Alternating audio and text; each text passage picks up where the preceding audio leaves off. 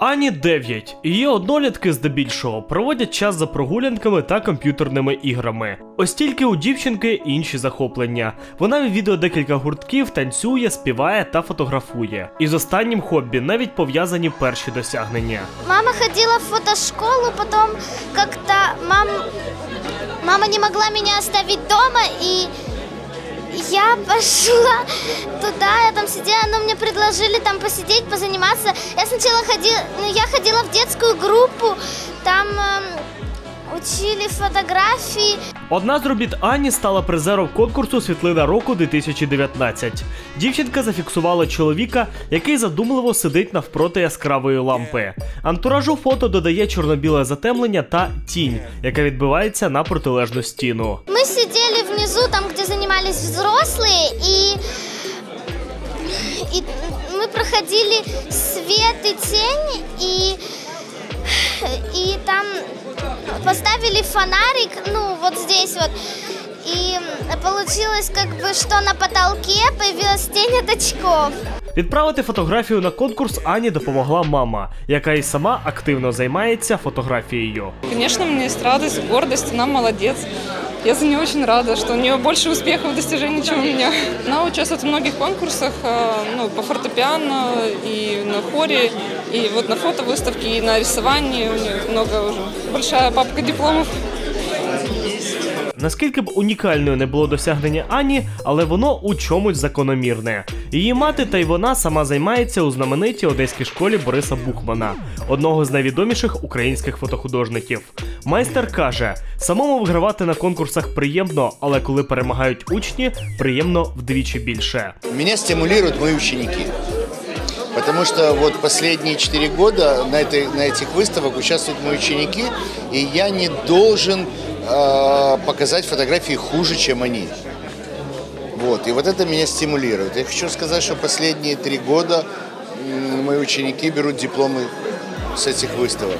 Вот это меня стимулирует, что я их учу, они выставляются, а я не могу сделать плохую фотографию.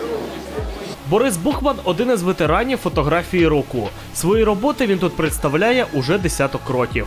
Самому ж конкурсу у цьому році виповнюється 17 років. Как всегда по традиции до Старого Нового года мы в Болгарском центре культуры открываем традиционную нашу выставку «Снимок года». И в этот раз она уже 17 по счету, «Снимок года 2019».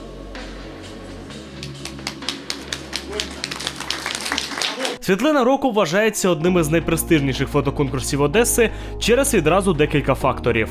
По-перше, кількість робіт організатори дають відвідувачу змогу насолодитись сотнею світлин одеських фотографів. Здесь отобрали 100 работ. Это только третья часть из того, что прислали.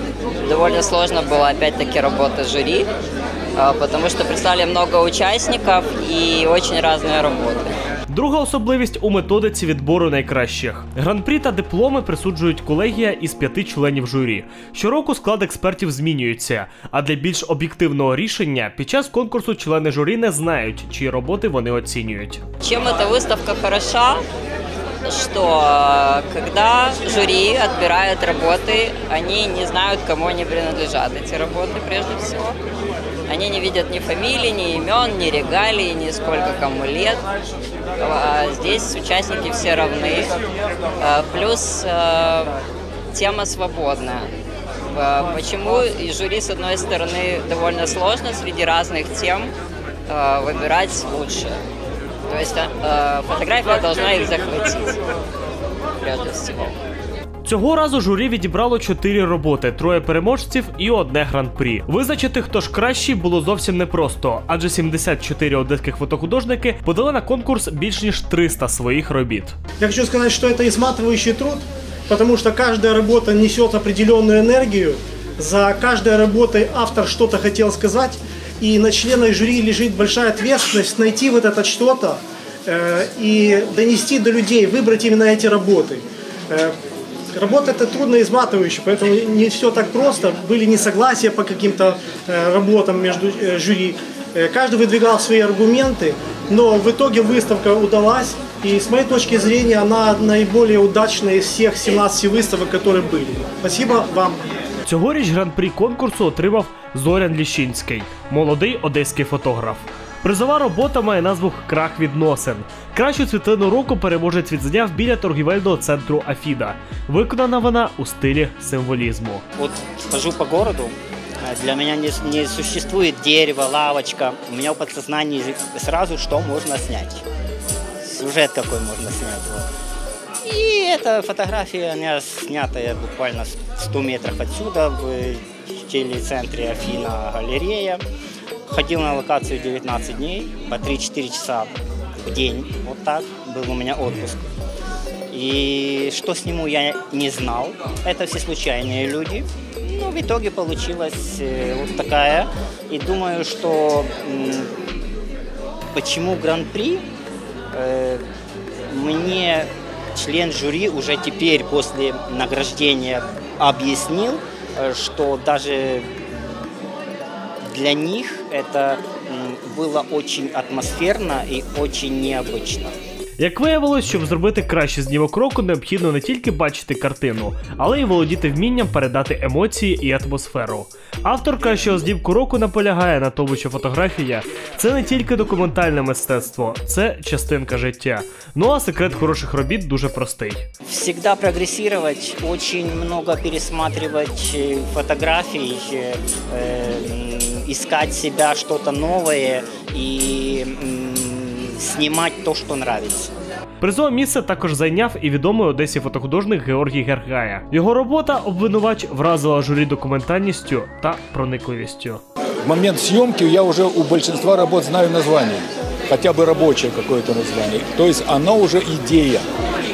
Есть идея этого снимка. Вот тот снимок, вот тот, который у меня стоит, это женщина стоящая. Мы шли мимо, увидели круг этот, и я сказал, стоп, а ну вернись, стань сюда. Название снимка у меня уже было как диалог, рабочее название. Окончательное название другое, окончательное название обвинитель. Оно значительно как бы сильнее, оно не такое мягкое, как диалог и все. В нем уже есть конфликтность какая-то ситуация между тенью и человеком, который стоит.